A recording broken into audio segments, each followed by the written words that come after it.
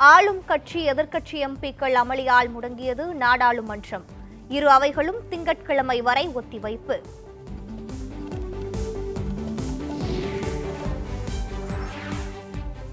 நாடாளுமன்ற வளாகத்தில் காங்கிரஸ் தலைமையில் எதிர்க்கட்சி எம்பிக்கள் போராட்டம். அதானி குழும விவகாரத்தில் நாடாளுமன்ற கூட்டுக்குழு விசாரணை நடத்த கோரிக்கை.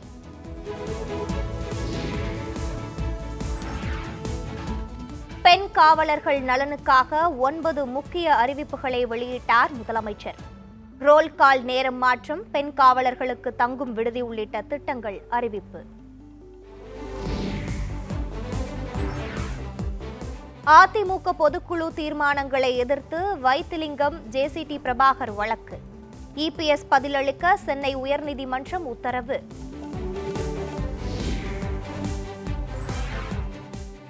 ஓ பன்னீர்செல்வத்துடன் முதலமைச்சர் மு க ஸ்டாலின் அமைச்சர் உதயநிதி சந்திப்பு.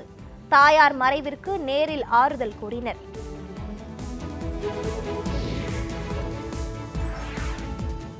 சென்னை மற்றும் புறநகர் பகுதிகளில் பலத்த காற்றுடன் கோடை மழை.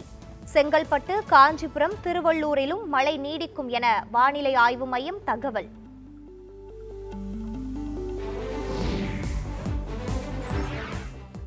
நியூஸ் செவன் தமிழ் முன்னெடுக்கும் நிகரனக்கொள் இரண்டாயிரத்து இருபத்தி மூன்று விழிப்புணர்வு இயக்கம். தமிழ்நாட்டின் பல பகுதிகளில் பாலின சமத்துவத்தை வலியுறுத்தி மாணவர்கள் உறுதிமொழி ஏற்பு. காரணமாக